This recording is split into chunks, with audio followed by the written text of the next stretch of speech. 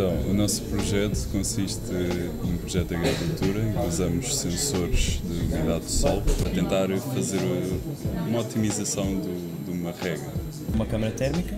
A câmara térmica é essa que vai recolher as imagens. Nós estamos a tentar fazer com que sejam processadas primeiro para o LCD neste microprocessador e depois daqui para um painel de LEDs. Acho que o facto de ser a Critical, que de facto é um, um grande nome em Portugal nesta área, uh, é uma vantagem brutal sobre qualquer outra pessoa que não, que não que queira inserir-se neste mercado e não tenha tido esta oportunidade.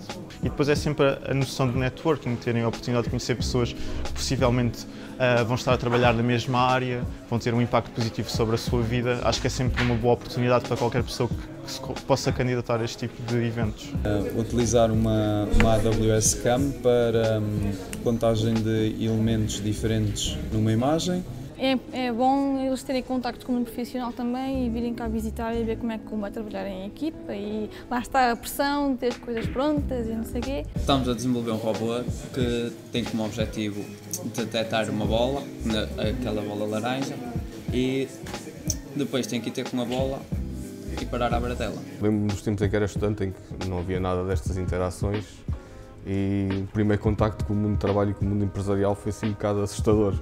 Ninguém sabia o que é que vinha.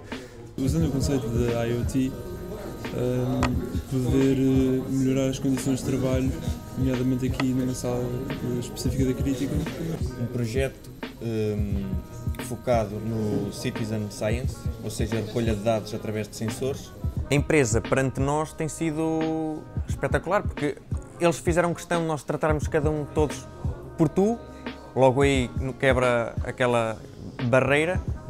Pá, depois mostram-se sempre disponíveis para, para nos ajudar e para nos ensinar as coisas não é?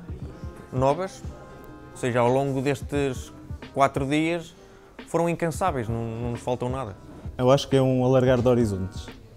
Eh, acho que nós, quando estamos no nosso dia a dia, estamos no nosso canto, temos as nossas coisas a tratar, etc. E vamos para aqui e temos um, uma abrangência de assuntos que, com, qual, com, os quais somos confrontados e que nos permite pensar noutras coisas, noutras formas de resolver, noutras abordagens que de outra forma não, não seria tão fácil de ter. Trazem coisas que eu não tenho, eu tenho coisas que eles não têm. Portanto, é esta troca que é benéfica para toda a gente.